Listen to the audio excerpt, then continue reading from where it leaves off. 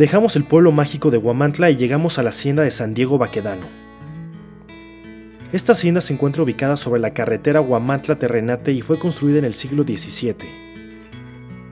Su nombre es por un santo y también por uno de sus primeros dueños, y hoy en día es un hotel que ofrece una cálida estadía acompañada de rica comida. Pero si solo quieres visitarla, es solo a través de un guía, con previa reservación. Esta hacienda también se renta para bodas, algunas temáticas estilo de la época colonial.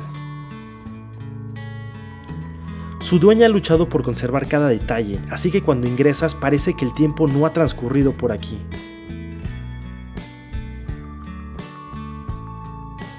Su cocina fue uno de mis sitios favoritos, simplemente hermosa y con rasgos muy mexicanos. Al final conocimos su patio trasero y aquí partimos a conocer otra hacienda. También ubicada en el municipio de Terrenate está la hacienda Tenejac, una de las más famosas del estado de Tlaxcala. Andariegos, pues ya estamos aquí con David, ya nos trajo a la hacienda San Pedro Tenejac. Vamos a hacer un recorrido aquí por la ganadería. también es ganadería, ¿verdad? Es una ganadería activa y de las mejores del país. De las mejores del país. Aquí también en esta hacienda se, me, está, me está diciendo David que se han hecho algunas películas como Arráncame la vida. Cristiada. Cristiada. Algunas series para lo del centenario de la revolución. Para la revolución. Eh, pues series que han salido en diferentes canales. Perfecto. Bueno, esto ustedes ya no lo vieron, pero obviamente pues al ingresar este, pues obviamente no te abren la puerta, este, tienes que decir quién eres, con quién vienes y bueno, con David no hay ningún problema, por eso sigo recalcando que es muy importante venir con un guía. David nos habla un poco de los toros. Me contó que la primera fiesta brava en México se realizó en Ciudad de México en honor a Hernán Cortés, y la corrida de toros es una tradición netamente de origen español, y en la actualidad los estados de México que más la conservan son Aguascalientes y Tlaxcala. Esta hacienda también es hotel, aunque como todas tiene pocas habitaciones. No pudimos conocerlas, pero sí su hermoso patio, el cual te transporta al pasado, te hace preguntarte cuántas personas han pasado por aquí, cuántas de ellas ya no existen, pero aún así esta hacienda sigue estando en pie. Cuántas historias encierran sus paredes. Esta hacienda sin duda es una de las más hermosas de México, tan es así que ya es patrimonio nacional. Aquí practiqué volar el dron, aunque con muy malos resultados, así que nos vamos a otra hacienda. La hacienda La Laguna se encuentra en el municipio de Lázaro Cárdenas. Fue construida en los primeros años de 1900. Andariegos, pues ya estamos aquí en la hacienda La Laguna y eh, en esta fiesta espero que nos den un rico pulque de Tlaxcala, la verdad, por eso vine, no, no es cierto. Pero bueno, vamos a recorrerla, David. Desde que llega se ve un toque taurino fuerte. Actualmente esta hacienda cría ganado bravo, algo con lo que no estoy muy familiarizado. Yo iba por pulque, pero cuando entré me dijeron que si quería jugar dominó. Acepté, pero creo que aquí el dominó en Tlaxcala se juega muy diferente.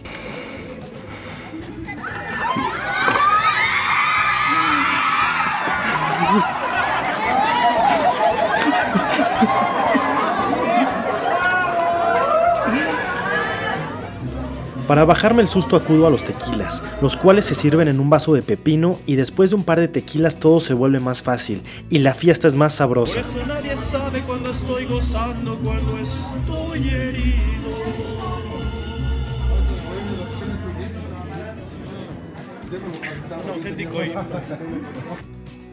Pasamos la tarde en esta hacienda entre pulque, cerveza y tequila. Cae la noche y es tiempo de dormir. Mañana nos espera un largo día conociendo otro pueblo mágico. Andariegos, pues ya estamos llegando al recién nombrado pueblo mágico de Tlaxcala, Tlaxco. David nos ha traído hasta acá. Vamos a tener que recorrerlo muy rápido porque tenemos que ir a las pinturas rupestres, tenemos que hacer, eh, tenemos que visitar algunas haciendas de por aquí y bueno, recorrer el pueblo rápido. Al día siguiente nos dirigimos hacia Tlaxco, pero hacemos una pequeña parada.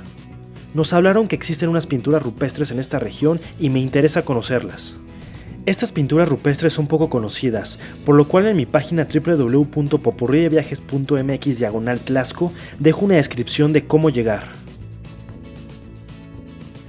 El nombre de este lugar se llama Campamento La Peñuela. Cuando fui estaba en proceso de crecimiento para poder atender a más personas. Andaremos pues ya casi después de caminar 15 minutos desde la zona de acampado estoy llegando a esta área. Aquí se encuentran tres secciones diferentes para, para hacer el rapel. Una está aquí arriba de mí, se llama el Rey León. Es una piedra que está totalmente volada y el rapel se hace así, sin tocar la pared. Y también detrás de mí, a mi derecha, ya se encuentra la zona donde está la pintura rupestre. Ricardo, el propietario de este campamento, nos dice que estos son petrograbados y que apenas el Instituto Nacional de Antropología e Historia les está haciendo estudios, así que poco se sabe del origen de estas marcas en la pared. Dejamos la peñuela y nos vamos al centro de Tlasco. Tlasco recibió el nombramiento de Pueblo Mágico el 25 de septiembre de 2015. En el centro frente a la plaza principal está la parroquia de San Agustín, la cual fue construida durante los siglos XVII y XVIII. Esta construcción se le atribuye a Vicenzo Barroso de la Escaloya, quien dirigió la creación de la Catedral de Morelia en Michoacán.